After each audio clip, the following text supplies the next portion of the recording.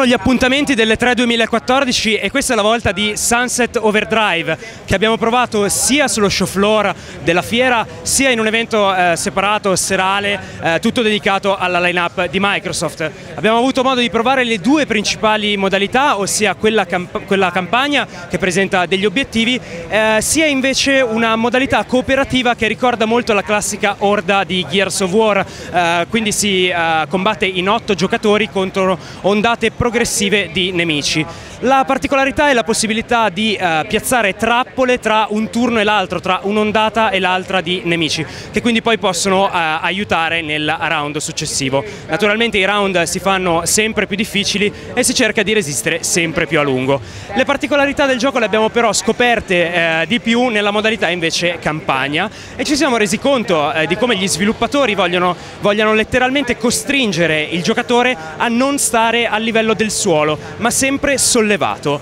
Uh, per fare questo hanno implementato la meccanica del grinding, ossia la possibilità dopo un salto di agganciare tutta una serie di superfici, corrimano, cornicioni e via discorrendo, e di scivolare sulla loro superficie anche eventualmente invertendo la direzione di scivolata con una velocità crescente man mano che si scivola sempre di più e invece un rallentamento del tempo quando durante la scivolata si prende la mira. Uh, tutto questo eh, è abbinato al fatto che i nemici sono estremamente forti e pericolosi quando ci si trova al suolo. Quindi tutta la meccanica di gioco consiste nel stare sempre uh, mai al, a livello del suolo e sempre sopraelevati in modo da avere la meglio sui mutanti. Gli obiettivi da completare sono uh, di vario tipo, spesso si tratta di distruggere un oggetto specifico o di eliminare un certo numero di nemici e abbiamo notato anche l'occasionale comparsa di boss.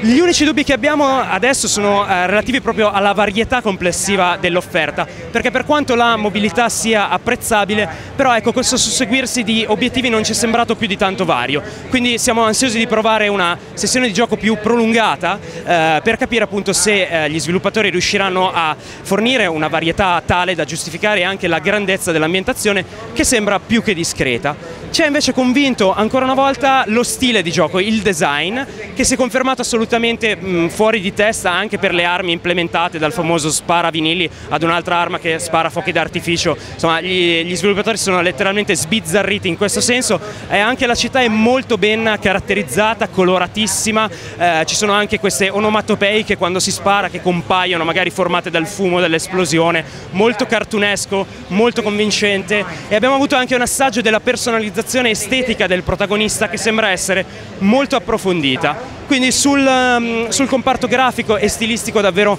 nessun dubbio, siamo più che convinti. Uh, l'altro dubbio piccolo che abbiamo è relativo ai controlli, perché ci è sembrato che spesso il salto e l'aggancio del grinding siano un po' imprecisi e in un gioco che si basa tutto uh, sull'agilità del protagonista chiaramente questi sono uh, dei fattori cruciali. Quindi aspettiamo di vedere se queste piccole imperfezioni verranno modificate nel prossimissimo futuro, anche perché ricordiamo che il rilascio è fissato a questo autunno.